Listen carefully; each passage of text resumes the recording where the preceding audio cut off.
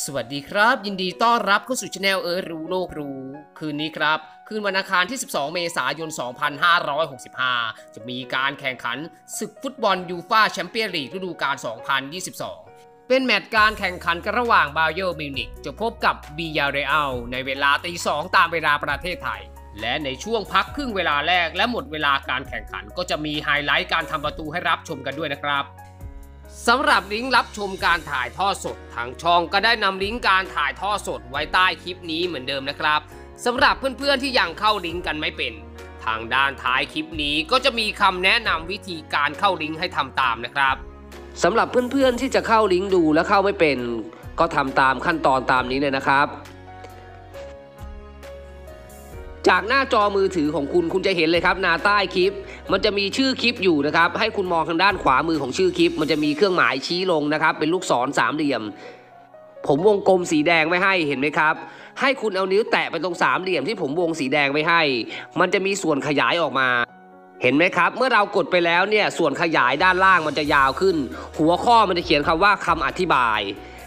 ให้คุณมองลงมาด้านล่างครับ คุณจะเห็นตัวหนังสือสีน้ำเงิน เป็นชื่อลิงก์อยู่ อันนี้มันจะตัวเล็กเดี๋ยวผมจะขยายเข้าไปให้ดูนะครับ เห็นไหมครับ เมื่อผมขยายหน้าจอขึ้นมาให้ดูแล้ว คุณจะเห็นครับด้านล่าง ตัวหนังสือสีน้ำเงินนั่นคือลิงก์การถ่ายทอดสด ผมจะเอาวงสีแดงวงไว้ให้